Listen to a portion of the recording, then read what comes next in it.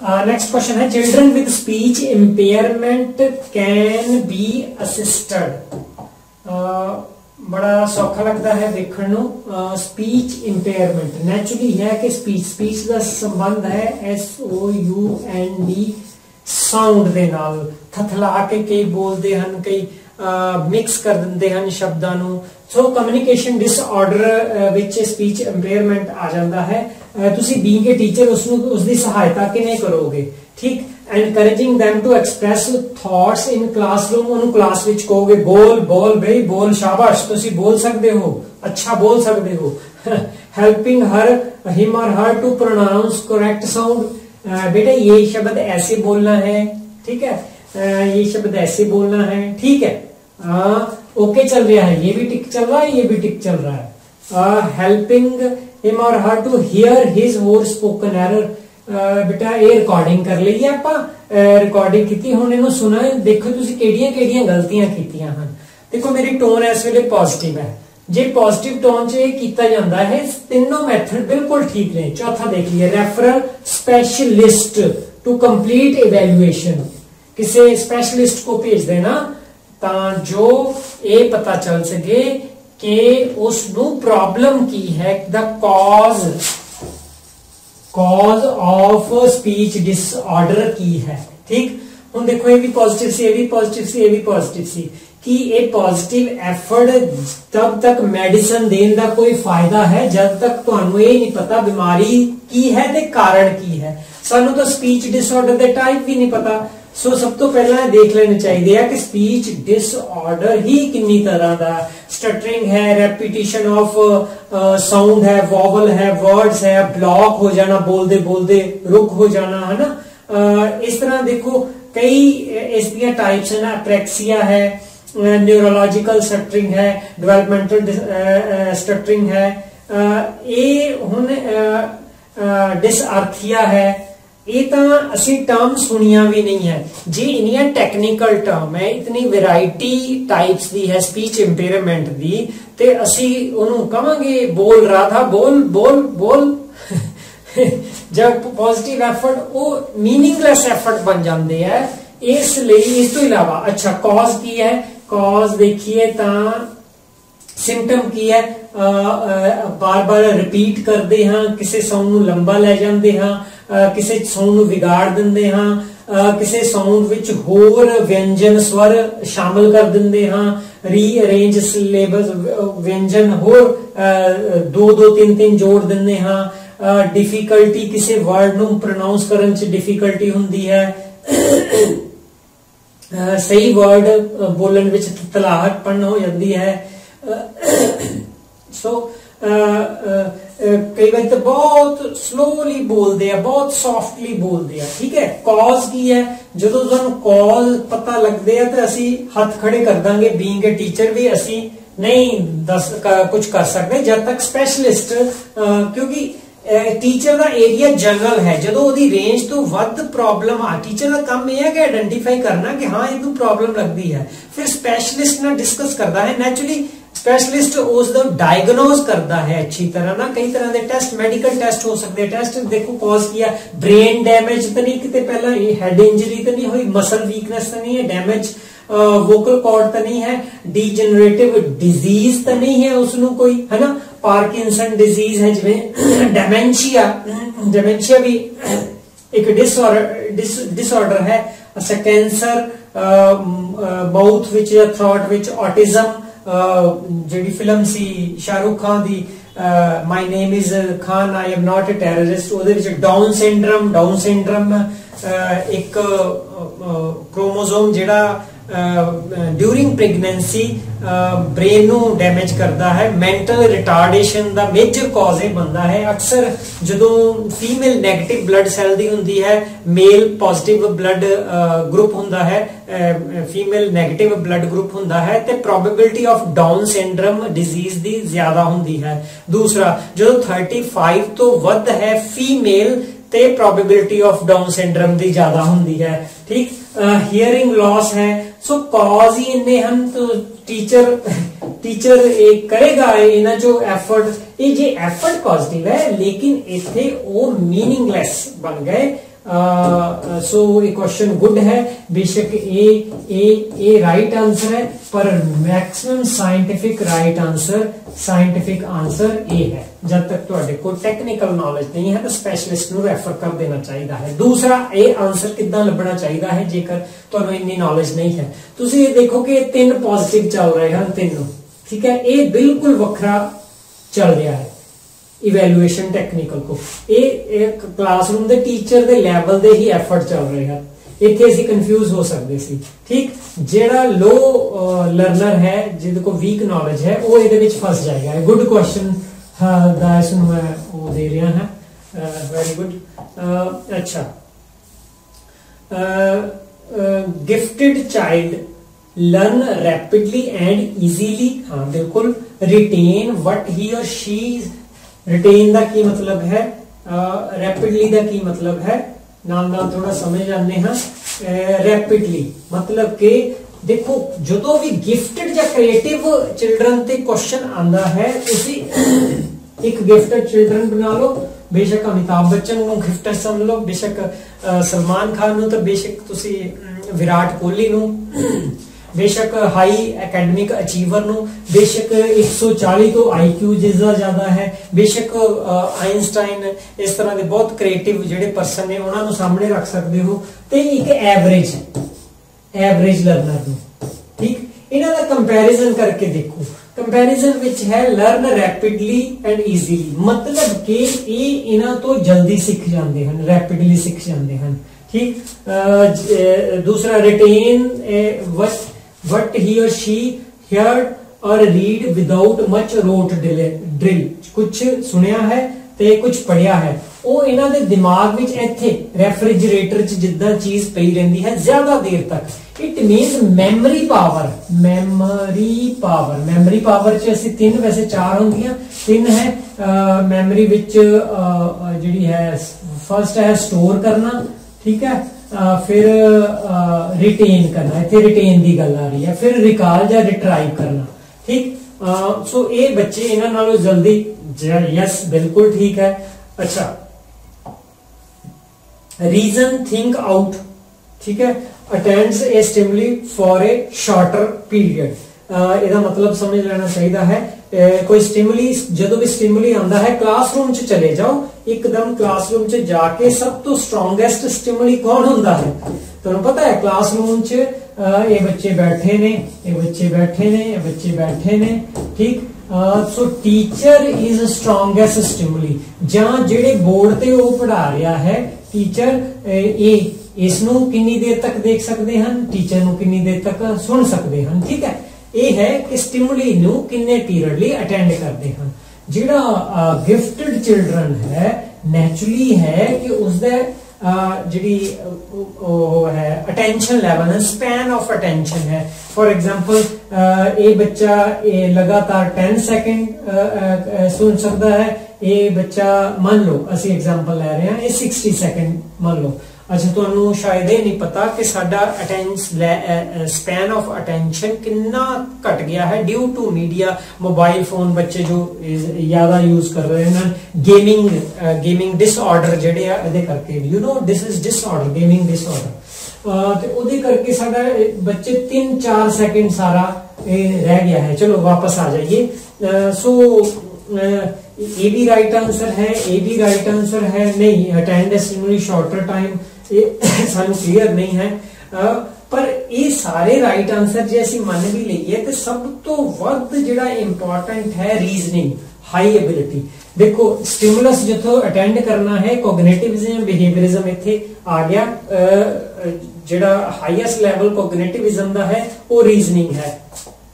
ਤੇ ਇੱਥੇ ਵੀ ਕਿਸੇ ਚੀਜ਼ ਨੂੰ ਲਰਨ ਈਜ਼ੀਲੀ ਕਰ ਲੈਣਾ, ਲੇਕਿਨ ਜਿਸ ਦੀ ਰੀਜ਼ਨਿੰਗ ਪਾਵਰ ਹੈ, ਉਹ ਫਰਦਰ ਵੀ ਅੱਗੇ ਜ਼ਿਆਦਾ ਤੋਂ ਜ਼ਿਆਦਾ ਲਰਨ ਕਰ ਸਕਦਾ ਹੈ ਸਿੰਪਲ ਗੱਲ ਹੈ ਇਸ ਦਾ ਬੈਸਟ ਆਨਸਰ ਕਿੱਦਾਂ ਲੱਭਣਾ ਹੈ ਕਿ ਸਭ ਤੋਂ ਹਾਇਰਾਰਕੀ ਦੇ ਸਭ ਤੋਂ ਉੱਤੇ ਵੱਡੀ ਚੀਜ਼ ਕਿਹੜੀ ਆ ਰਹੀ ਹੈ ਇੱਥੇ ਰੀਜ਼ਨਿੰਗ ਆ ਰਹੀ ਹੈ ਓਕੇ ਬਾਕੀ ਚੀਜ਼ਾਂ ਵੀ ਹਨ ਪੋਜ਼ਿਟਿਵ ਹਨ ਲੇਕਿਨ ਰੀਜ਼ਨਿੰਗ ਇਜ਼ ਹਾਇਰ ਜਿਹੜਾ ਬੱਚਾ ਰੀਜ਼ਨਿੰਗ ਬੈਟਰ ਕਰ ਲੈਂਦਾ ਹੈ ਦੈਟ ਇਜ਼ ਵਾਈ ਮੈਂ ਰੀਜ਼ਨਿੰਗ ਤੇ ਜ਼ੋਰ ਦਿੰਦਾ ਹਾਂ ਕਿ ਕੁਐਸਚਨ ਦੇ ਰਾਈਟ ਆਨਸਰ ਤੇ ਤੁਸੀਂ ਜ਼ੋਰ ਦਿੰਦੇ ਹੋ ਮੈਂ ਰੀਜ਼ਨਿੰਗ ਤੇ ਜ਼ੋਰ ਦਿੰਦਾ ਹਾਂ ਸੋ ਰੀਜ਼ਨਿੰਗ ਜਿਹੜਾ ਜ਼ਿਆਦਾ ਕਰ ਲੈਂਦਾ ਹੈ ਉਹ ਰਾਈਟ ਆਨਸਰ ਹੈ ਠੀਕ ਸਲੋ ਲਰਨਰ ਹੂਸ ਜਦੋਂ ਸਲੋ ਲਰਨਰ ਆਇਆ ਤੁਹਾਡੇ ਦਿਮਾਗ 'ਚ ਤੁਹਾਨੂੰ ਇਹ ਗੱਲ ਯਾਦ ਰੱਖਣੀ ਚਾਹੀਦੀ ਹੈ ਸਲੋ ਲਰਨਰ ਹੁੰਦਾ ਕੌਣ ਹੈ ਸਲੋ ਲਰਨਰ ਹੈ ਫॉर ਐਗਜ਼ਾਮਪਲ ਇਹ ਇੱਕ ਬੱਚਾ ਹੈ ਇਸ ਦੀਆਂ ਐਬਿਲਿਟੀਆਂ ਹਨ ਕਿ ਇਹ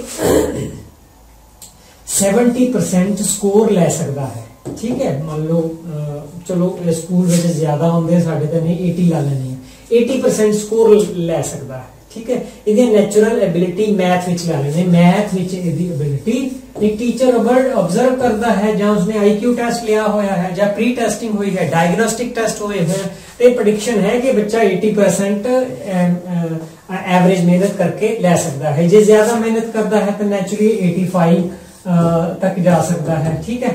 ਸੋ ਜਦੋਂ ਹਾਊਸ ਟੈਸਟ ਹੋਏ ਜਾਂ ਕੁਝ ਦਿਨਾਂ ਬਾਅਦ ਪਾਇਆ ਗਿਆ ਕਿ ਇਹ ਬੱਚਾ 60% ਲੈ ਰਿਹਾ ਹੈ। ਇਟ ਮੀਨਸ ਉਹਦੀ ਨੈਚੁਰਲ ਜੋ ਅਬਿਲਿਟੀ ਸੀ, ਉਸ ਤੋਂ ਕਾਫੀ ਡਾਊਨ ਜਾ ਰਿਹਾ ਹੈ। ਹੇਅਰ ਦਿਸ ਪਰਸਨ ਇਜ਼ ਦੇਖੋ ਇੱਥੇ ਗਿਫਟਡ ਲੱਗ ਰਿਹਾ ਸੀ। ਇਟ ਮੀਨਸ ਜੇ ਹਾਈ ਅਬਿਲਿਟੀ ਵਾਲਾ ਬੱਚਾ ਵੀ slow learner slow learner slow learner ਦੀ ਦੂਸਰੀ ਟਰਮ ਹੈ ਬੈਕਵਰਡ ਬੈਕਵਰਡ ਯਾਦ ਰੱਖਣਾ ਬੈਕਵਰਡ ਸਿਰਫ ਐਵਰੇਜ ਬਿਲੋ ਐਵਰੇਜ ਵਾਲੇ ਜਿਨ੍ਹਾਂ ਦਾ ਆਈਕਿਊ ਲੋ ਹੈ ਜਾਂ ਹੋ ਕਾਰਨ ਨੇ, ਉਹ ਨਹੀਂ ਹੋ ਸਕਦਾ ਇਸ ਤੋਂ ਇਲਾਵਾ ਵੀ ਹੋ ਸਕਦਾ ਹੈ। ਅਗਲੀ ਗੱਲ ਸਲੋ ਲਰਨਿੰਗ ਇਹ ਟੋਟਲ ਸਬਜੈਕਟਸ ਵਿੱਚ ਵੀ ਹੋ ਸਕਦੀ ਹੈ ਸਬਜੈਕਟ 1 ਵਿੱਚ ਵੀ ਹੋ ਸਕਦੀ ਹੈ ਮੈਥ 'ਚ ਹੈ 2 ਸਾਇੰਸ 'ਚ ਹੈ 3 ਲੈਂਗੁਏਜ 'ਚ ਹੈ, ਠੀਕ ਹੈ, ਸਾਰਿਆਂ ਦੇ ਵਿੱਚ ਵੀ ਹੋ ਸਕਦੀ ਹੈ, ਠੀਕ? ਕਿਉਂ? ਕਾਰਨ ਇਸ ਦੇ ਕਈ ਸਲੋ ਲਰਨਿੰਗ ਦੇ ਹੋ ਸਕਦੇ ਆ। ਹੋ ਸਕਦਾ ਹੈ ਕਿ ਬੱਚੇ ਦੀ ਫੈਮਿਲੀ 'ਚ ਕੋਈ ਪ੍ਰੋਬਲਮ ਹੋਵੇ ਇਮੋਸ਼ਨਲ ਪ੍ਰੋਬਲਮ ਚੱਲ ਰਹੀ ਹੋਵੇ ਉਸ ਦੀ ਹੈਲਥ ਪਰਸਨੈਲਿਟੀ ਪਰਸਨਲ ਪ੍ਰੋਬਲਮ ਚੱਲ ਰਹੀ ਹੋਵੇ। ਅੱਛਾ ਉਸ ਨੂੰ ਨਿਊਰੋਲੋਜੀਕਲ ਡਿਸਆਰਡਰ ਹੋਵੇ, ਜਿਵੇਂ ਇਸ਼ਾਨ ਨੂੰ ਹੁੰਦਾ ਹੈ। ਸੋ ਕਈ ਕਾਰਨ ਹੋ ਸਕਦੇ ਨੇ। ਪਹਿਲਾ ਬੱਚਾ ਸਹੀ ਪਰਫਾਰਮ ਕਰਦਾ ਸੀ, ਕੋਈ ਘਰ ਵਿੱਚ ਜਾਂ ਇਹ ਇਮੋਸ਼ਨਲ ਘਟਨਾ ਹੋਈ ਤੇ ਨੈਚੁਰਲੀ ਸਟੱਡੀ ਥੱਲੇ ਚਲੇਗੀ ਤੇ ਪਰਫਾਰਮੈਂਸ ਥੱਲੇ ਚਲੇਗੀ। ਇਸੇ ਤਰ੍ਹਾਂ ਤੁਸੀਂ ਦੇਖਿਆ ਹੋਵੇਗਾ ਕਿ ਜਦੋਂ ਸਚਿਨ ਤੰਦੁਲਕਰ ਮੈਨੂੰ ਇਤਨਾ ਕਲੀਅਰ ਨਹੀਂ ਹੈ ਕਿ ਸਚਿਨ ਤੰਦੁਲਕਰ ਸਾਹਿਬ ਜੀ ਨੂੰ ਜਬ ਹੈਡਸ਼ਿਪ ਦਿੱਤੀ ਜਾਂਦੀ ਸੀ ਟੀਮ ਦੇ ਕੈਪਟਨ ਬਣਾਇਆ ਜਾਂਦਾ ਸੀ, ਉਹਨਾਂ ਦੀ ਪਰਫਾਰਮੈਂਸ ਜਨਰਲੀ ਲੋ ਆ ਜਾਂਦੀ ਸੀ।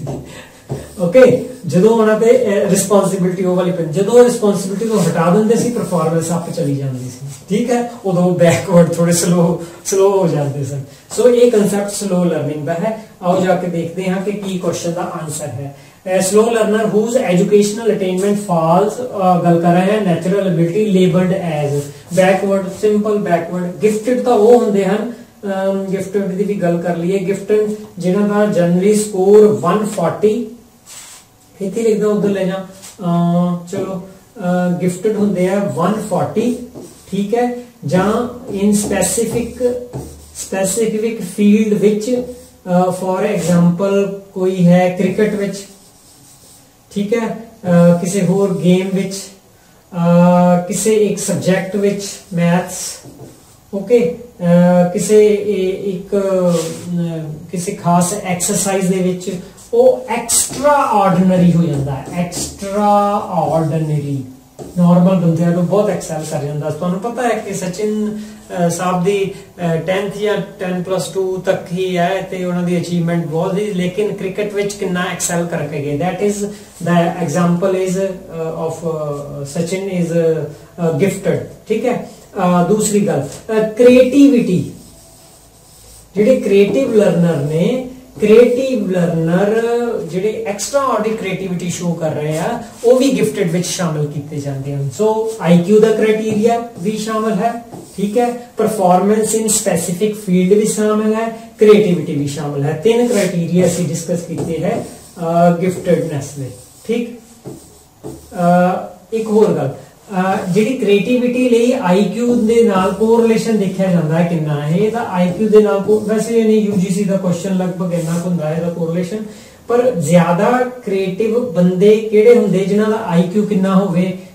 100 ਐਵਰੇਜ ਦੇ ਕੋਲ 120 ਅਬਵ ਐਵਰੇਜ ਜਾਂ 90 ਜਾਂ 90 ਤੋਂ ਨੀਚੇ, ਜਾਂ 140 ਗਿਫਟਡ ਤੁਹਾਨੂੰ ਕੀ ਲੱਗਦਾ ਹੈ? ਸਭ ਤੋਂ ਵੱਧ ਕ੍ਰੀਏਟਿਵ ਕੌਣ ਹੁੰਦੇ ਹਨ Yes, your answer is right. Above average ਬੱਚਿਆਂ ਦੀ ਸੰਭਾਵਨਾ ਕ੍ਰੀਏਟਿਵ ਹੋਣ ਦੀ ਜ਼ਿਆਦਾ ਹੁੰਦੀ ਹੈ ਜਿਹੜੇ ਗਿਫਟਡ ਵੀ ਹੁੰਦੇ ਹਨ ਜਨਰਲੀ ਐਵਰੇਜ ਬੱਚਿਆਂ ਦੀ ਇੱਕ ਬੱਚੇ ਦੀ ਨਹੀਂ ਗੱਲ ਹੋ ਰਹੀ। ਜਿਹੜੇ ਬਿਲੋ ਐਵਰੇਜ ਹਨ ਉਹਨਾਂ ਦੀ ਵੀ ਕ੍ਰੀਏਟੀਵਿਟੀ ਲੈਵਲ ਲੋ ਹੁੰਦਾ ਹੈ। ਥੋੜੇ ਜੇ ਐਵਰੇਜ ਆਈਕਿਊ ਤੋਂ ਜ਼ਿਆਦਾ ਜਿਹਨਾਂ ਦਾ ਆਈਕਿਊ ਹੁੰਦਾ ਹੈ ਉਹ ਕ੍ਰੀਏਟਿਵ ਜ਼ਿਆਦਾ ਹੁੰਦੇ ਹਨ। ਵਾਪਸ ਚਲਦੇ ਹਾਂ। ਨੈਕਸਟ ਕੁਐਸਚਨ ਹੈ when delivering an effective lecture in classroom a teacher establishes an eye contact ਬਿਲਕੁਲ ਜ਼ਰੂਰੀ ਹੈ ਬੱਚਿਆਂ ਵੱਲ ਦੇਖਨੇ ਨੇ ਰਹੇ ਇਹਦਾ ਮਤਲਬ ਕਿ ਕਮਿਊਨੀਕੇਸ਼ਨ ਅੱਛਾ ਨਹੀਂ ਹੋ ਸਕਦਾ ਹੋ ਸਕਦਾ ਤੁਹਾਡਾ ਕੌਨਫੀਡੈਂਸ ਘੱਟ ਹੈ ਠੀਕ ਮੈਂ ਇਸ ਤਰ੍ਹਾਂ ਕੈਮਰੇ ਵੱਲ ਨਾ ਦੇਖਾਂ ਅੱਛਾ ਇਹ ਵੀ ਨਹੀਂ ਹੈ ਹੁਣ ਆਈ ਕੰਟੈਕਟ ਦਾ ਹੈ ਤਾਂ ਮੈਂ ਡਰਾਈ ਜਾਵਾਂ ਓਕੇ ਇਹ ਵੀ ਨਹੀਂ ਹੈ ਕਿ ਆਈ ਕੰਟੈਕਟ ਹੀ ਹੈ ਬਾਕੀ ਤਾਂ ਕੁਝ ਹੈ ਹੀ ਨਹੀਂ ਬੋਲੋ ਟੀਚਰ ਜੀ ਬੋਲੋ ਸੋ ਇਹ ਜ਼ਰੂਰੀ ਹੈ ਯੈਸ ਟਿਕ ਅਸੀਂ ਲਗਾ ਲਿਆ ਲੇਕਿਨ ਇਹ ਦੇਖਾਂਗੇ ਬਾਕੀ ਆਪਸ਼ਨ ਪੜ ਕੇ ਟਿਕ ਠੀਕ ਹੈ ਪਰ ਸਫੀਸ਼ੀਐਂਟ ਹੈ ਇੰਪਲਾਈਜ਼ ਮੀਨਿੰਗਫੁਲ ਜੈਸਚਰਸ ਇਹਦੇ ਵਿੱਚ ਮੈਨੂੰ ਮੀਨਿੰਗਫੁਲ ਉਹ ਚੰਗੀ ਲੱਗੀ ਜੈਸਚਰ ਕੱਲੇ ਜੈਸਚਰ ਨਾਲ ਕੰਮ ਚੱਲ ਜਾਏਗਾ ਨਾਨ ਵਰਬਲ ਨਾ ਠੀਕ ਹੈ? ਇਹ ਇੱਥੇ ਸਟੈਂਡ ਅੱਛਾ, ਆਪਣੇ ਲੈਕਚਰ ਸਟੈਂਡ ਤੇ ਖੜਾ ਰਹਿੰਦਾ ਹੈ। ਵਸਟ ਕਦੇ ਵੀ ਨਹੀਂ। ਤੁਹਾਨੂੰ ਸਟਿਮੂਲਸ ਵੇਰੀਏਸ਼ਨ ਦਾ ਪੜਾਇਆ ਜਾਂਦਾ ਹੈ ਕਿ ਟੀਚਰ ਨੂੰ ਮੂਵਮੈਂਟ ਨੇੜੇ ਜਾਣਾ, ਦੂਰ ਹੋਣਾ ਬੋਰਡ ਕੋ ਜਾਣਾ, ਲਿਖਣਾ, ਬੱਚੇ ਨੂੰ ਅਲਾਉ ਕਰਨਾ ਵਿਜ਼ੂਅਲ ਤੋਂ ਆਡੀਟਰੀ ਆਡੀਟਰੀ ਤੋਂ, ਹਨਾ? ਚੇਂਜ ਕਰਦੇ ਰਹੋ ਇੰਟਰਸਟ ਬਣਿਆ ਰਹਿੰਦਾ ਹੈ। ਸਟਿਮੂਲਸ ਵੇਰੀਏਸ਼ਨ ਬੈਸਟ ਹੈ।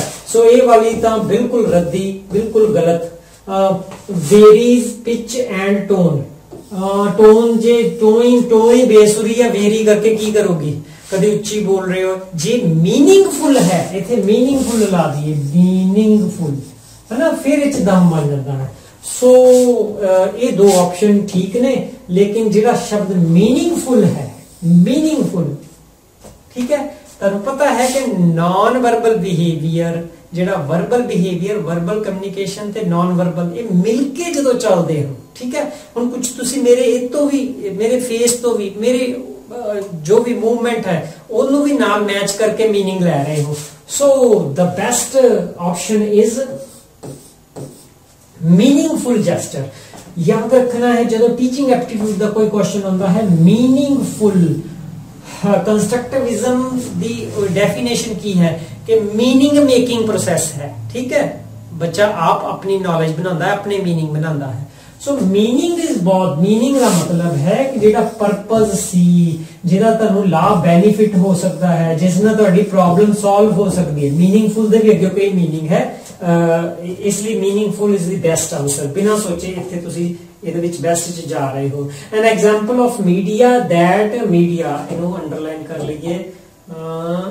Yes media that transport transport ਦਾ ਪਤਾ ਨਹੀਂ ਕਿਆ ਲਰਨ ਨੂੰ ਲੈ ਕੇ ਜਾਂਦਾ ਹੈ। In remote area by means of next question ਹੈ an example an example of media that transport ਦੋ ਸ਼ਬਦ ਨੇ ਜਿਹੜੇ ਇੰਪੋਰਟੈਂਟ ਅੰਡਰਲਾਈਨ ਕਰਾਂਗਾ। ਹੁਣ ਇੱਕ ਤਾਂ ਮੀਡੀਆ ਦੂਸਰਾ ਟਰਾਂਸਪੋਰਟ ਕਨਫਿਊਜ਼ ਕਰ ਰਿਹਾ ਹੈ। ਲਰਨਰ ਲਰਨਰ ਨੂੰ ਲੈ ਕੇ ਜਾਂਦਾ ਹੈ। ਜਿਵੇਂ ਬੱਸ ਵਿੱਚ ਅਸੀਂ ਜਾਈਦਾ ਹੈ ਟੂ ਰਿਮੋਟ ਮੀਨ ਦੂਰ, ਪਿੰਡਾਂ ਵਿੱਚ, ਹਨਾ ਹਿੱਲੀ ਏਰੀਆ ਵਿੱਚ, ਰੇਗਿਸਤਾਨ ਵਿੱਚ। ਮੀਡੀਆ ਟਰਾਂਸਪੋਰਟ ਲੈ ਕੇ ਜਾਂਦਾ ਹੈ। ਲਰਨਰ ਨੂੰ remote places for example hilly area ਵਿੱਚ ਜਿੱਥੇ Uh, rural area which uh, through the means of visualization, images they now ठीक uh, कौन लेके जाएगा? Educational television yes educational television media भी है टेलीविज़न मीडिया है. एजुकेशनल ब्रॉडकास्ट एजुकेशनल ठीक है, लेकिन ब्रॉडकास्ट मीडिया नहीं है सर्विस है. है ना? ब्रॉडकास्ट प्रोसेस है.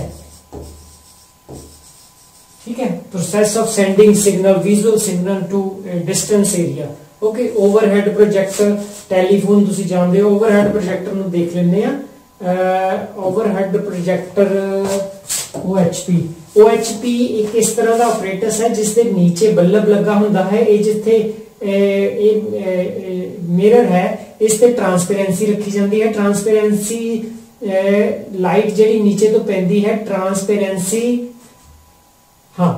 ਟਰਾਂਸਪੇਰੈਂਸੀ ਦੀ ਤੇ ਜੋ ਰਿਟਨ ਹੁੰਦਾ ਡਾਇਆਗ੍ਰਾਮ ਹੁੰਦਾ ਹੈ, ਉਹ ਇਸ ਜਗ੍ਹਾ ਤੇ ਲੈਂਸ ਤੇ ਜਾ ਕੇ ਪੈਂਦਾ ਹੈ ਤੇ ਪ੍ਰੋਜੈਕਟ ਇੱਥੇ ਜਾ ਕੇ ਹੁੰਦਾ ਹੈ। ਇਸ ਨੂੰ ਅਸੀਂ ਇਸ ਤਰ੍ਹਾਂ ਦੇਖ ਸਕਦੇ ਹਾਂ। ਇੱਥੋਂ ਇਮੇਜ ਇੱਥੇ ਜਾਂਦੀ ਹੈ ਤੇ ਇੱਥੋਂ ਇੱਥੇ ਪ੍ਰੋਜੈਕਟ ਹੁੰਦੀ ਹੈ। ਪ੍ਰੋਜੈਕਟ ਮੀਨ ਸੁੱਟਣਾ, ਠੀਕ?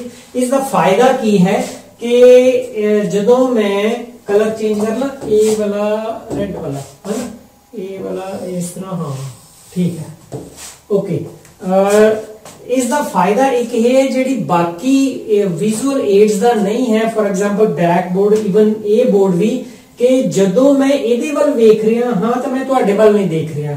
ਜਦੋਂ ਮੈਂ ਬਲੈਕ ਬੋਰਡ ਤੇ ਲਿਖ ਰਿਹਾ ਹਾਂ, ਤਾਂ ਮੈਂ ਤੁਹਾਡੇ ਵੱਲ ਨਹੀਂ ਦੇਖ ਰਿਹਾ।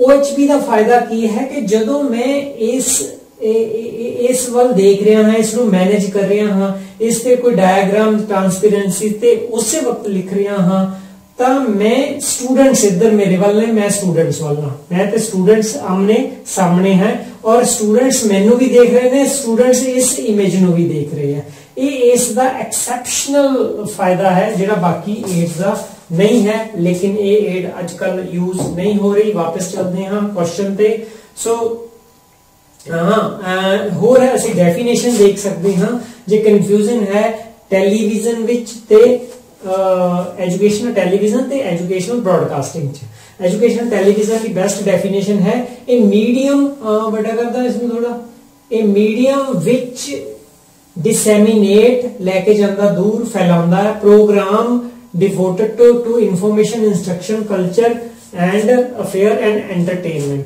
ਠੀਕ ਬੇਸ਼ੱਕ ਪੁਰਾਣੀ ਡੈਫੀਨੇਸ਼ਨ ਹੈ ਲੇਕਿਨ ਇਸ ਨੂੰ ਮੀਡੀਅਮ ਕਹਿ ਰਿਹਾ ਹੈ ਮੀਡੀਆ ਕਹਿ ਰਿਹਾ ਹੈ ਠੀਕ non commercial television content that broadcast ਮਤਲਬ ਕਿ ਬ੍ਰਾਡਕਾਸਟ ਟੈਲੀਵਿਜ਼ਨ ਐਜੂਕੇਸ਼ਨਲ ਟੈਲੀਵਿਜ਼ਨ ਦਾ ਇੱਕ ਪਾਰਟ ਜਾਂ ਇੱਕ ਪ੍ਰੋਸੈਸ ਹੈ ਬ੍ਰਾਡਕਾਸਟ ਪ੍ਰੋਗਰਾਮ ਨੂੰ ਕਰਦਾ ਹੈ for the purpose of educating or enriching viewer understanding on of a particular topic. ਇੱਕ ਯਾਦ ਰੱਖਣੀ ਹੈ ਐਜੂਕੇਸ਼ਨ ਟੈਲੀਵਿਜ਼ਨ ਵਿੱਚ ਐਂਟਰਟੇਨਮੈਂਟ ਸ਼ਬਦ ਵੀ ਆ ਰਿਹਾ ਹੈ। ਲੇਕਿਨ ਦੂਸਰਾ ਹੈ ਨਾਨ ਕਮਰਸ਼ੀਅਲ ਹੈ। ਇਸ ਤੇ ਨਵਾਂ ਕੁਐਸਚਨ ਬਹੁਤ ਅੱਛਾ ਬਣ ਸਕਦਾ ਹੈ। ਵਾਪਸ ਚੱਲਦੇ ਹਾਂ। ਸੋ ਸਾਡਾ ਆਨਸਰ ਕਲੀਅਰ ਕੱਟ ਹੈ। ਮੈਨੂੰ ਫੀਡਬੈਕ ਮਿਲੀ ਸੀ ਕਿ ਸਰ ਜੀ ਟਿਕ ਕਰ ਦਿਆ ਕਰੋ। ਲੋ ਕਰ ਦਿੱਤਾ। ਓਕੇ ਚਲਿਏ ਅੱਗੇ।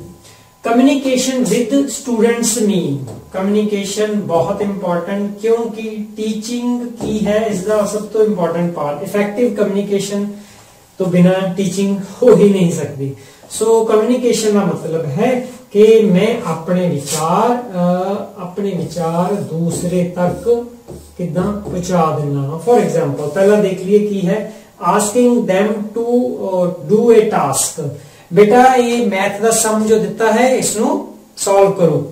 ਇਹ ਕਿਹਾ ਇਟ ਮੀਨਸ ਇਹ ਬੈਠੇ ਨੇ ਬੱਚੇ, ਇੱਥੇ ਮੈਂ ਉਹਨਾਂ ਨੂੰ ਕਿਹਾ, ਆ this is one way process okay second ਹੈ ਗਿਵਿੰਗ them ਡਾਇਰੈਕਸ਼ਨ ਬੇਟਾ, ਤੁਸੀਂ ਉੱਠ ਕੇ ਇੱਧਰ ਬੈਠ ਜਾਓ।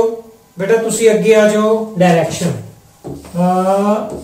ਇਸ ਤਰ੍ਹਾਂ one way process informing them to uh, informing them of your ideas. ਮੇਰੇ ਕੀ ਆਈਡੀਆਜ਼ ਨੇ ਮੇਰੇ ideas for example political science ਪੜ੍ਹਾ ਰਿਹਾ ਹਾਂ ਇਲੈਕਸ਼ਨ ਆ ਰਹੇ ਨੇ ਮੈਂ ਇਲੈਕਸ਼ਨ ਤੇ ਆਪਣੇ ਆਈਡੀਆਜ਼ ਦਿੰਨਾ ਹੈ ਕਿਸੇ ਪੋਲੀਟੀਕਲ ਪਾਰਟੀ ਬਾਰੇ ਗੱਲ ਕਰਦਾ ਹਾਂ ਫੋਰ ਐਗਜ਼ਾਮਪਲ ਕਿ ਅਸੀਂ 20 ਸਾਲ ਦੇਖ ਰਹੇ ਨੇ ਕਿ 20 ਸਾਲ ਦੇ ਵਿੱਚ ਅਸੀਂ ਜਿਹੜੀ ਵੀ ਗਵਰਨਮੈਂਟ ਚੁਣੀ ਹੈ ਉਹ ਉਸਨੇ ਉਸ ਤਰ੍ਹਾਂ ਕੰਮ ਨਹੀਂ ਕੀਤਾ ਮੇਰੇ ਮੁਤਾਬਕ ਹੁਣ ਸਾਨੂੰ ਚੇਂਜ ਲਿਆਉਣਾ ਚਾਹੀਦਾ ਹੈ। ਪਿਛਲੀ ਗਵਰਨਮੈਂਟ ਨੂੰ ਰਿਪੀਟ ਨਹੀਂ ਕਰਨਾ ਚਾਹੀਦਾ। ਮੇਰੇ ਵਿਚਾਰ ਹੋ ਸਕਦੇ ਆ ਜਾਂ ਕਿਸੇ ਬੱਚੇ ਦੇ ਵਿਚਾਰ ਹੋ ਸਕਦੇ ਆ।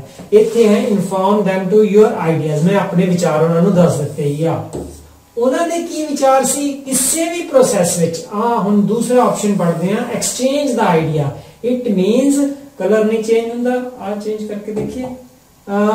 ਇਟ ਮੀਨਸ ਇਹ ਨਹੀਂ, ਇਹ ਵਾਲਾ it means this is one way ਉਹਨਾਂ ਨੂੰ ਆਈਡੀਆਜ਼ ਦਿੱਤੇ ਵੀ ਜਾਂਦੇ ਆ ਉਹਨਾਂ ਦੇ ਆਈਡੀਆਜ਼ ਸੁਨੇ ਵੀ ਜਾਂਦੇ ਆ ਠੀਕ ਹੈ ਫੋਰ ਐਗਜ਼ਾਮਪਲ ਡਿਸਕਸ਼ਨ ਹੈ ਫੋਰ ਐਗਜ਼ਾਮਪਲ ਕੁਐਸਚਨਿੰਗ ਆਨਸਰਿੰਗ ਹੈ that is why questioning, answering, discussion better method of teaching ਵਿੱਚ ਆਉਂਦੀ ਹੈ ਸੋਸ਼ਲ ਕੰਸਟਰਕਟਿਵਿਜ਼ਮ ਚ ਆਉਂਦੀ ਹੈ ਸੋਸ਼ਲ ਕੰਸਟਰਕਟਿਵਿਜ਼ਮ ਤਾਂ ਵਨ ਵੇ ਪ੍ਰੋਸੈਸ ਤੇ ਹੀ ਕਾਂਟਾ ਲਗਾ ਰਿਹਾ ਹੈ ਕਿ one way process is very lower for achieving high aim of education. ਠੀਕ ਹੈ that is why two way of communication, cooperative learning ਵਿੱਚ ਕੀ ਕੀਤਾ ਜਾਂਦਾ ਹੈ ਕਿ ਬੱਚੇ ਇੱਕ ਦੂਜੇ ਨਾਲ ਦਿਖਾਈ ਦੇ ਰਿਹਾ ਹੈ ਪਤਾ ਨਹੀਂ ਦਿਖਾਈ ਦੇ ਰਿਹਾ ਕਦੀ ਗੱਲਬਾਤ ਕਰ ਸਕਦੇ ਹਨ ਠੀਕ ਹੈ exchange the most important word in this question is exchange next ਚਲਦੇ ਹਾਂ ਅੱਛਾ first stage in learning of a skill underline ਕਰਾਂਗੇ ਨੰਬਰ 1 ਫਰਸਟ ਸਟੇਜ ਹੈ ਦੂਸਰਾ ਹੈ ਕਾਦੇ ਬਾਰੇ ਹੈ ਸਕਿੱਲ ਬਾਰੇ ਹੈ ਸਕਿੱਲ ਦੋ ਤਰ੍ਹਾਂ ਦੀ ਹੋ ਸਕਦੀ ਹੈ ਕੋਗਨੀਟਿਵ ਸਕਿੱਲ ਵੀ ਹੋ ਸਕਦੀ ਹੈ cognitive skill okay motor skill ਵੀ ਹੋ ਸਕਦੀ ਹੈ ਸਭ ਤੋਂ ਪਹਿਲਾਂ ਆਪਣੇ ਸਾਹਮਣੇ ਉਹ ਫੋਰ ਐਗਜ਼ਾਮਪਲ ਥਿੰਕਿੰਗ ਸਕਿੱਲ ਹੈ ਜਾਂ ਤੁਸੀਂ ਇਹ ਲਾਓ ਡਿਸੀਜਨ ਮੇਕਿੰਗ ਡਿਸੀਜਨ ਮੇਕਿੰਗ ਕੀ ਹੈ ਡਿਸੀਜਨ ਮੇਕਿੰਗ ਤੁਹਾਡੇ ਆਪਸ਼ਨਸ ਨੇ ਆਪਸ਼ਨ ਚੋਂ ਰਾਈਟ ਬੈਸਟ ਆਪਸ਼ਨ ਨੂੰ ਚੂਜ਼ ਕਰਨਾ ਈਵਨ ਐਮਸੀਕਿਊ ਵਿੱਚ ਤੁਸੀਂ ਡਿਸੀਜਨ ਲੈਂਦੇ ਹੋ ਕਿਸ ਨੂੰ ਚੂਜ਼ ਕਰਨਾ ਜਦੋਂ ਦੋਨੇ ਬਰਾਬਰ ਲੱਗਦੇ ਹਨ ਸੋ ਡਿਸੀਜਨ ਕਿੰਨੀ ਕੁਇਕਲੀ ਲੈਂਦੇ ਹੋ ਡਿਸੀਜਨ ਕਿੰਨੀ ਜ਼ਿਆਦਾ ਐਕੂਰੇਟਲੀ ਲੈਂਦੇ ਹੋ ਪਰਪਸ ਦੇ ਮੁਤਾਬਕ ਲੈਂਦੇ ਹੋ ਮਤਲਬ ਕਿ ਤੁਹਾਡਾ ਸੋਲੂਸ਼ਨ ਉਹ ਤੋਂ ਹੁੰਦਾ ਹੈ ਮੈਕਸਿਮਮ ਡਿਸਟਰਬੈਂਸ ਘੱਟ ਹੋਵੇ ਮੈਕਸਿਮਮ ਦੂਜੇ ਲੋਕਾਂ ਇਦਾਂ ਦਾ ਡਿਸੀਜਨ ਕਿ ਦੂਸਰੇ ਲੋਕਾਂ ਦਾ ਵੀ ਖਿਆਲ ਰੱਖਿਆ ਜਾਵੇ many factors quality decision making ਵਿੱਚ, ਠੀਕ? ਇਸ ਤਰ੍ਹਾਂ ਮੋਟਰ ਸਕਿੱਲਸ ਹੈ। ਮੋਟਰ ਸਕਿੱਲਸ ਦੇ ਵਿੱਚ ਤਾਂ ਤੁਸੀਂ ਆਪਣੇ ਰੀਡਿੰਗ ਰਾਈਟਿੰਗ ਲੈ ਲਓ ਰੀਡ ਹੈਨਾ? ਰਾਈਟ ਮੈਥ ਦੀਆਂ ਸਕਿੱਲਸ ਨੇ ਜੋ ਹੈ ਮਲਟੀਪਲੀਕੇਸ਼ਨ ਹੈ। ਡਿਵੀਜ਼ਨ ਹੈ। ਸੋ ਸਾਇੰਸ ਦੀਆਂ ਸਕਿੱਲਸ ਹੈ ਐਨਾਲਿਸਿਸ ਕਰਨਾ ਹੈ ਇਨਫਰੈਂਸਸ ਬਣਾਉਣੇ ਹਨ, ਠੀਕ ਹੈ? ਆਬਜ਼ਰਵੇਸ਼ਨ ਹੈ। ਸੋ ਹਰ ਮੈਂ ਉਹਦੀਆਂ ਤੁਹਾਨੂੰ ਸਕਿੱਲਸ ਹਰ ਪੱਕਾ ਪਤਾ ਹੋਣੀਆਂ ਚਾਹੀਦੀਆਂ, ਜਿਹੜੇ, ਜਿਸ ਦੇ ਤੁਸੀਂ ਟੀਚਰ ਬਣਨ ਜਾ ਰਹੇ ਹੋ, ਜਿਸ ਦਾ ਟੀਈਟੀ ਦੇਣ ਜਾ ਰਹੇ ਹੋ। ਇਹ ਐਗਜ਼ਾਮਪਲ ਦੇ ਦਿੱਤੀਆਂ। ਹੁਣ ਇਹਨੂੰ ਲੈ ਕੇ ਚੱਲਦੇ ਹਾਂ ਕਿ first stage of learning skill ਬੇਸ਼ੱਕ ਡਿਸੀਜਨ ਮੇਕਿੰਗ ਸਕਿੱਲਸ ਤੁਹਾਨੂੰ ਹੈ ਡੈਮੋ ਦਿੱਤੀ ਜਾ ਸਕਦੀ ਹੈ ਠੀਕ ਹੈ ਕੋਈ ਸਕਿੱਲ ਅੱਛੀ ਸਕਿੱਲ ਸਕਿੱਲ ਦਾ ਮਤਲਬ ਕੀ ਹੈ ਕਿ ਸਕਸੈਸਫੁਲੀ ਉਸ ਨੂੰ ਪਰਫਾਰਮ ਕਰ ਲੈਣਾ ਠੀਕ ਹੈ ਜਿਹੜਾ ਤੁਹਾਡਾ ਰਿਜ਼ਲਟ ਰੇਟ ਹੈ ਏਮ ਆਫ ਜਾਂ ਸੋਲੂਸ਼ਨ ਆਫ ਪ੍ਰੋਬਲਮ ਜਾਂ ਏਮ ਅਚੀਵਮੈਂਟ ਹੈ ਉਹ ਮੈਕਸਿਮਮ ਵਿਦ ਸੈਟੀਸਫੈਕਸ਼ਨ ਹੋਵੇ। ਰੀਡਿੰਗ ਹੈ ਉਸ ਦੀ ਕੁਆਲਿਟੀ ਹੈ। ਰਾਈਡਿੰਗ ਹੈ ਮਲਟੀਪਲੀਕੇਸ਼ਨ ਹੈ ਡਿਵੀਜ਼ਨ ਹੈ, ਇਹਦੇ ਵਿੱਚ ਐਕੂਰੇਸੀ ਹੈ ਸਪੀਡ ਹੈ। ਸੋ ਇਹ ਸਕਿਲਸ ਨੇ ਸਾਰੀਆਂ। ਇਹਨਾਂ ਨੂੰ ਉਹ ਕਦਮ ਤੁਸੀਂ ਆਪਣੇ ਸਾਹਮਣੇ ਰੱਖਣਾ ਹੈ, ਕਈ ਤਰ੍ਹਾਂ ਦੇ ਕੁਐਸਚਨ ਸੋਲਵ ਕਰਨ ਲਈ ਤੁਹਾਡੀ ਹੈਲਪ ਕਰ ਸਕਦੀਆਂ ਹਨ। ਓਕੇ ਸਾਇੰਸ ਦੀਆਂ ਸਕਿੱਲ ਕੀ ਸੀ? ਐਨਾਲਿਸਿਸ ਕਰਨਾ ਹੈ ਇਨਫਰੈਂਸਸ ਬਣਾਉਣਾ ਹੈ ਆਬਜ਼ਰਵੇਸ਼ਨ ਕਰਨਾ ਹੈ ਐਕੂਰੇਸੀ ਨਾਲ ਕਰਨਾ ਹੈ ਨਾ। ਕੁਇਕਲੀ ਕਰਨਾ ਹੈ। ਦੋ ਫੈਕਟਰ ਮੇਨ ਨੇ ਹਰ ਸਕਿੱਲ ਦੇ ਕੁਇਕਲੀ ਤੇ ਐਕੂਰੇਸੀ ਕਿੰਨੀ ਹੈ। ਠੀਕ? ਇਹਨੂੰ ਹੀ ਸਕਸੈਸ ਕਹਿ ਸਕਦੇ ਹਾਂ। ਹੁਣ ਜੇ ਇਹ ਦੇਖਣਾ ਹੈ, ਮੈਨੂੰ ਪਤਾ ਹੀ ਨਹੀਂ ਕਿ ਜੀ ਅੱਛੀ ਡਿਸੀਜਨ ਮੇਕਿੰਗ ਕੀ ਹੁੰਦੀ ਹੈ ਅੱਛੀ ਰੀਡਿੰਗ ਕੀ ਹੁੰਦੀ ਹੈ ਅੱਛੀ ਰਾਈਟਿੰਗ ਕੀ ਹੁੰਦੀ ਹੈ ਅੱਛੀ ਮਲਟੀਪਲੀਕੇਸ਼ਨ ਕਿੱਦਾਂ, ਇੱਕ ਥਿੰਕਰ ਕਰਦਾ ਹੈ ਮੈਥਸ ਵਾਲਾ ਡਿਵੀਜ਼ਨ ਜਲਦੀ ਕਿੱਦਾਂ ਕਰਦਾ ਹੈ, ਉਹ ਇਸੇ ਤਰ੍ਹਾਂ ਪੋਸੀਬਲ ਹੈ ਨਾ ਕਿ ਐਕਸਪਰਟ ਮੇਰੇ ਸਾਹਮਣੇ ਜੇ ਕਰਕੇ ਵਿਖਾਵੇ ਜਿਸ ਨੂੰ ਅਸੀਂ ਕਹਿੰਦੇ ਹਾਂ ਡੈਮੋਸਟ੍ਰੇਸ਼ਨ ਠੀਕ ਹੈ? ਉਹ ਡੈਮੋਸਟ੍ਰੇਸ਼ਨ ਦਿੰਦਾ ਹੈ ਲਰਨਰ ਉਸ ਨੂੰ ਆਬਜ਼ਰਵ ਕਰਦਾ ਠੀਕ ਹੈ? ਆਬਜ਼ਰਵ ਕਰਦਾ ਹੈ, ਦੇਖਦਾ ਹੈ। ਹੈਨਾ? ਦੇਖ ਦੇਖ ਕੇ ਫਿਰ ਉਹਨੂੰ ਰਿਟੇਨ ਰੱਖਦਾ ਹੈ, ਫਿਰ ਆਪਣੇ ਬਿਹੇਵੀਅਰ ਵਿੱਚ ਰਿਪੀਟ ਕਰਦਾ ਹੈ ਤੇ ਫਿਰ ਰੀਇਨਫੋਰਸਮੈਂਟ ਇਹ ਕਿਹੜੀ ਇਹ ਕਿਹੜੀ ਥਿਊਰੀ ਕਰਵਾ ਦਿੱਤੀ ਮੈਂ?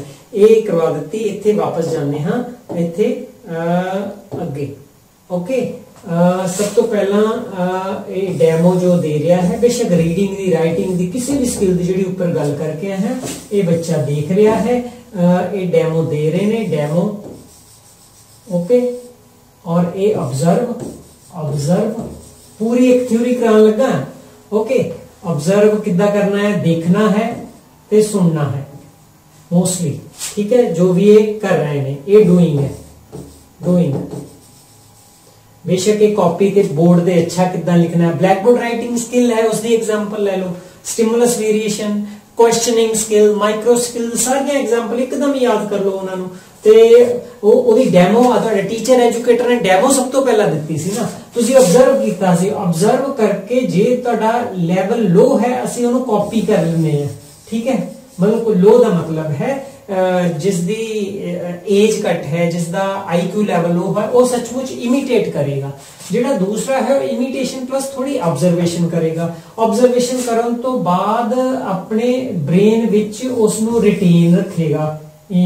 ਜੋ ਵੀ ਉਸ ਦਾ ਐਕਸਪਰਟ ਦਾ ਬਿਹੇਵੀਅਰ ਸੀ ਕਿ ਉਸਨੇ ਲਿਖਦੇ ਸਮੇਂ ਪੈਨ ਇਸ ਤਰ੍ਹਾਂ ਪਕੜਿਆ ਸੀ, ਉਸਨੇ ਅੱਖਰਾਂ ਨੂੰ ਇਸ ਤਰ੍ਹਾਂ ਲਾਈਨ ਲਗਾਈ ਸੀ, ਉਸਨੇ ਬੜੀ ਤੇਜ਼ੀ ਨਹੀਂ ਦਿਖਾਈ, ਉਸਨੇ ਇੱਥੇ ਜ਼ਿਆਦਾ ਕੇਅਰ ਵਰਤੀ ਵਗੈਰਾ ਰਿਟੇਨ ਰੱਖਦੇ ਹਾਂ। ਰਿਟੇਨ ਤੋਂ ਬਾਅਦ ਲਾਸਟ ਤੇ ਤੁਸੀਂ ਰੀ ਪ੍ਰੋਡਿਊਸ ਕਰਦੇ ਹਾਂ।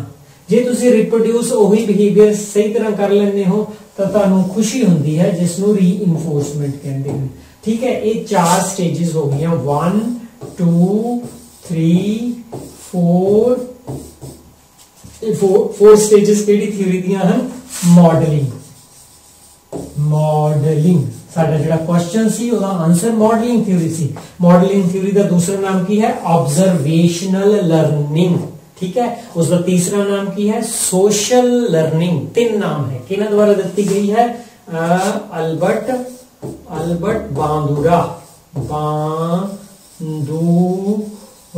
Bandura ਇਦਾਂ ਨਹੀਂ ਕਹਿਣਾ ਯਾਦ ਰੱਖਣ ਲਈ ਤੁਸੀਂ ਕਰ ਸਕਦੇ ਆ ਰਿਸਪੈਕਟ ਨਾਲ ਰੱਖੋਗੇ ਠੀਕ ਹੈ ਹਾਂ ਸੋ ਵੈਰੀ ਈਜ਼ੀ ਕਿ ਸਭ ਤੋਂ ਪਹਿਲਾਂ ਅਸੀਂ ਚੀਜ਼ ਨੂੰ ਦੇਖਦੇ ਹਾਂ, ਮਨ ਵਿੱਚ ਬਿਠਾ ਲੈਨੇ ਹਾਂ, ਪੈਦਾ ਕਰ ਲੈਨੇ ਹਾਂ ਤੇ ਫਿਰ ਜਦ ਸਹੀ ਕਰ ਲੈਨੇ ਹਾਂ ਬੜੀ ਖੁਸ਼ੀ ਹਾਏ, ਮੈਡਮ, ਮੈਨੇ ਲਿਖ ਲਿਆ, ਮੈਨੇ ਰੀਡ ਕਰ ਲਿਆ, ਹਨਾ, ਮੈਨੇ ਅੱਛੀ ਤਰ੍ਹਾਂ ਸੇ, ਜੋ ਵੀ ਸਕਿੱਲ ਹੈ, ਉਹ ਉਹ ਜੋ ਕਰਦੇ ਆ ਖੁਸ਼ੀ ਹੁੰਦੀ ਹੈ ਔਰ ਰੀਇਨਫੋਰਸਮੈਂਟ ਹੋਗੀ ਇਹ ਚਾਰ ਸਟੈਪ ਹੈ ਵੀ ਪੁੱਛੇ ਜਾ ਸਕਦੇ ਨੇ ਤੁਹਾਨੂੰ, ਕਿਸੇ ਨਾ ਕਿਸੇ ਕੁਐਸਚਨ ਪੁੱਛੇ ਜਾ ਸਕਦੇ ਆ। ਅੱਛਾ ਇਹਨਾਂ ਦੇ ਨਾਮ ਯਾਦ ਰੱਖਣੇ ਆ ਨੋਟ ਕਰ ਲਓ ਚਲੋ ਵੀਡੀਓ ਤੁਸੀਂ ਰਿਪੀਟ ਕਰ ਸਕਦੇ ਹੋ। ਇਹ ਅਸੀਂ ਵਾਪਸ ਕੁਐਸਚਨ ਤੇ ਜਾਂਦੇ ਹਾਂ। First stage of learning of a skill ਹਨਾ? ਸਿੱਧੀ ਆਬਜ਼ਰਵੇਸ਼ਨਲ ਲਰਨਿੰਗ ਜਾਂ ਮਾਡਲਿੰਗ ਥਿਊਰੀ ਆ ਗਈ ਹੈ। ਉਸ ਦਾ ਮਤਲਬ ਹੈ, ਤੁਸੀਂ ਉਹ ਡੈਮੋ ਦੇ ਰਹੇ ਆ, ਤੁਸੀਂ ਇਮੀਟੇਟ ਕਰ ਰਹੇ ਆ। ਇਹਦੇ ਵਿੱਚ ਕੋਆਰਡੀਨੇਸ਼ਨ ਤੁਸੀਂ ਬੈਠੇ ਹੋ ਜਸਟ ਸਕਿੱਲ ਵਿੱਚ ਤਾਂ ਸਭ ਪਹਿਲਾਂ ਦੇਖ ਰਹੇ ਆ ਐਕਸਪਰਟ ਕੀ ਕਰ ਰਿਹਾ। ਮੈਨੀਪੂਲੇਸ਼ਨ ਕਿਸੇ ਆਬਜੈਕਟ ਨੂੰ ਇੱਧਰ ਉੱਧਰ ਕਰਨਾ, ਹਿਲਾਉਣਾ ਮੈਨੀਪੂਲੇਸ਼ਨ ਨਹੀਂ। ਪ੍ਰੀਸੀਜ਼ਨ ਐਗਜ਼ੈਕਟਲੀ ਕੋਈ ਚੀਜ਼ ਕਲੀਅਰਲੀ ਕੋਈ ਚੀਜ਼ ਦਾ ਹੋਣਾ, ਠੀਕ? ਸੋ ਇਮੀਟੇਸ਼ਨ ਜ਼ਿਆਦਾ ਨਜ਼ਦੀਕ ਵਾਲਾ ਆਨਸਰ ਬਣ ਰਿਹਾ ਹੈ, ਠੀਕ? ਦੂਸਰੇ ਨੰਬਰ ਤੇ ਜੇ ਆਨਸਰ ਸੋਚਣਾ ਹੈ ਪ੍ਰੈਸੀਜ਼ਨ ਸੋਚਿਆ ਜਾ ਸਕਦਾ ਹੈ। ਕਿਉਂਕਿ ਰੈਂਕ ਜ਼ਰੂਰ ਕਰਨਾ ਸਿੱਖਣਾ ਚਾਹੀਦਾ ਹੈ ਜੇ ਚਾਰ ਆਪਸ਼ਨ ਨੇ, ਤੇ ਉਹਦੇ ਚੋਂ ਬੈਸਟ ਕਿਹੜੀ ਹੈ? ਸੈਕੰਡ ਨੰਬਰ ਤੇ ਬੈਸਟ ਕਿਹੜੀ ਹੈ? ਥਰਡ ਤੇ ਫੋਰਥ ਜਾਂ ਵਰਸਟ ਕਿਹੜੀ ਹੈ? ਠੀਕ ਹੈ? ਸੋ ਜਿਹੜੀ ਹੈ, ਕਿਉਂਕਿ ਪਹਿਲਾ ਨੰਬਰ ਹੈ ਇਸ ਵਰਸਟ ਚੌਥੇ ਨੰਬਰ ਤੇ ਮੈਂ ਇਹ ਕੱਢ ਰਿਹਾ ਹਾਂ ਕੋਆਰਡੀਨੇਸ਼ਨ ਠੀਕ? ਤੀਸਰੇ ਨੰਬਰ ਤੇ ਇਹ ਮੈਨੀਪੂਲੇਸ਼ਨ ਕਿਉਂਕਿ ਸਕਿੱਲ ਦਾ ਪਾਰਟ ਹੋ ਸਕਦਾ ਹੈ। ਜਦੋਂ ਤੁਸੀਂ ਹੁਣ ਸਕਿੱਲ ਦੇ ਕੁਝ ਮੈਨੀਪੂਲੇਟ ਤਾਂ ਕਰਦੇ ਹੋ, ਹਲਾਉਣਾ ਤਾਂ ਕੁਝ ਹੈਗਾ ਹੀ ਹੈ ਨਾ ਚੇਂਜ ਤਾਂ ਕੁਝ ਕਰਨਾ ਹੀ ਹੈ ਨਾ। ਸੋ ਥਰਡ ਪਾਰਟ ਹੋ ਸਕਦਾ, ਪਰ ਫਰਸਟ ਨਹੀਂ ਹੈ, ਠੀਕ? ਫਰਸਟ ਪਾਰਟ ਤੇ ਤਾਂ ਅਸੀਂ ਦੇਖਦੇ ਹੀ ਹਾਂ ਉਸ ਸ਼ਖਸ ਨੂੰ। ਇਹ ਫਰਸਟ ਆ ਗਿਆ ਠੀਕ ਹੈ? ਰੈਂਕ ਔਰ ਇਸ ਨੂੰ ਸੈਕੰਡ ਮੰਨ ਲੈਂਦੇ ਆ clarity and precision actually Albert Bandura the theory ਦੇ ਵਿੱਚ ਪ੍ਰੀਸੀਜ਼ਨ ਜਿਹੜਾ ਡੈਮੋਨਸਟ੍ਰੇਸ਼ਨ ਦੀ ਪ੍ਰੀਸੀਜ਼ਨ ਹੈ, ਉਹ ਇੱਕ ਪਾਰਟ ਹੈ। ਜਿੰਨੀ ਪ੍ਰੀਸੀਜ਼ਨ ਤੇ clear exact model expert reading ਕਰੇ ਸਕਿੱਲ ਪੇਸ਼ ਕਰਦਾ ਹੈ। ਬੇਸ਼ੱਕ ਉਹ ਰੀਡਿੰਗ ਦੀ ਹੈ ਜਾਂ ਕਿਸੇ ਹੋਰ ਹੋਰ ਚੀਜ਼ ਦੀ ਹੈ। ਇੱਕ ਟੀਚਰ ਐਜੂਕੇਟਰ ਹੈ, ਬਹੁਤ ਐਕਸਪਰਟ ਹੈ, ਬਹੁਤ ਅੱਛਾ ਬਲੈਕ ਬੋਰਡ ਤੇ ਲਿਖਦਾ ਹੈ। ਤੁਹਾਡੇ ਤੇ ਜਲਦੀ ਪ੍ਰਭਾਵ ਪੈ ਰਿਹਾ ਹੈ। ਪਹਿਲੀ ਇਮੀਟੇਸ਼ਨ ਵਿੱਚ ਜੇ, ਵਧੀਆ ਕੰਮ ਬਣ ਗਿਆ। ਲੇਕਿਨ ਇੱਕ ਟੀਚਰ ਐਜੂਕੇਟਰ ਆਇਆ, ਉਸਨੇ ਖੁਦ ਹੀ ਕਾਫੀ ਗਲਤੀਆਂ ਕਰ ਦਿੱਤੀਆਂ। ਉਹ ਤੁਹਾਡੇ ਲਈ ਮਾਡਲ ਨਹੀਂ ਬਣ ਸਕਿਆ। ਠੀਕ? That is why precision is a second in this